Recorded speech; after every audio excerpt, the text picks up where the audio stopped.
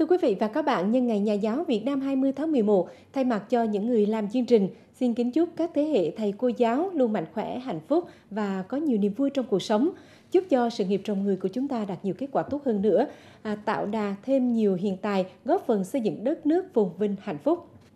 Thưa quý vị, có lẽ chưa bao giờ ngày 20 tháng 11 với những người thầy, người cô của thành phố Đà Nẵng đặc biệt như năm nay, khi mà sân trường vẫn vắng bóng học sinh. Tuy nhiên, những tình cảm của học sinh dành cho thầy cô vẫn được truyền tải theo những cách rất riêng. Và những khó khăn hiện tại cũng chính là động lực để mỗi người thầy, người cô nỗ lực hơn mỗi ngày vì học sinh thân yêu.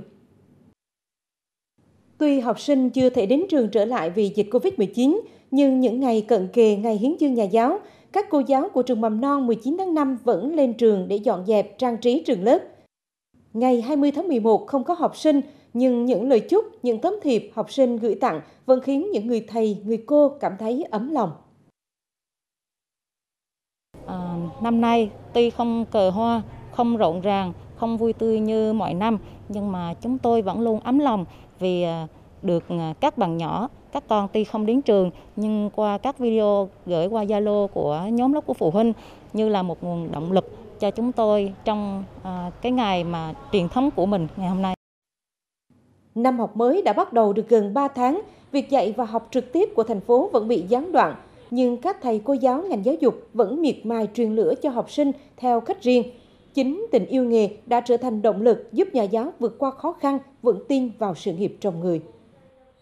mặc dầu là cách nhau về cái khoảng không gian, nhưng mà cái thơ nó cũng có một cái chút kết nối với nhau quanh mình như vậy. Nên là cái ngày lễ hôm nay cũng, nó đặc biệt nhưng mà nó cũng có có những cái niềm vui riêng. Khi mà mình đứng lớp thì những cái cái lo toan cuộc sống nó nó sẽ được gạt qua một bên. Mình sống hết mình với cái bài giảng, rồi thấy cái niềm say sưa của các em khi mà chú ý nghe giảng nên là cái động lực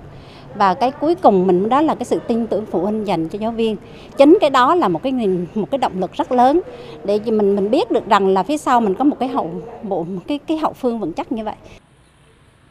Màn hình vi tính, điện thoại không ngăn được sự kết nối giữa thầy và trò. Mà ngược lại, các thầy cô giáo đã tận dụng những ưu thế công nghệ thông tin để làm chương trình học sinh động hơn.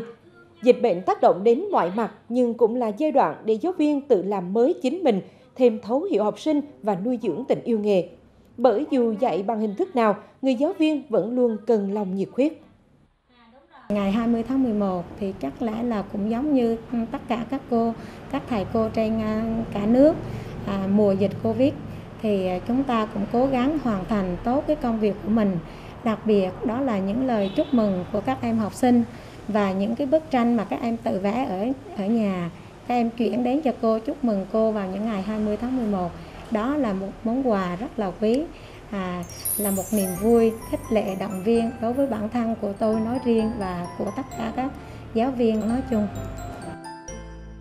Mùa 20 tháng 11 đặc biệt, tình cảm của học sinh với thầy cô cũng được truyền tải theo nhiều phương thức khác với những năm cũ. Nhưng có lẽ những giá trị cốt lõi của tình thầy trò, ý nghĩa thiêng liêng nhất của ngày 20 tháng 11 vẫn vẹn nguyên.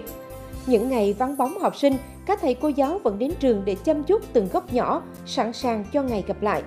Và chính sự yêu thương, tin tưởng của phụ huynh, của học sinh sẽ truyền cho người giáo viên năng lượng tích cực để vượt qua những khó khăn, gắn bó hơn với nghề.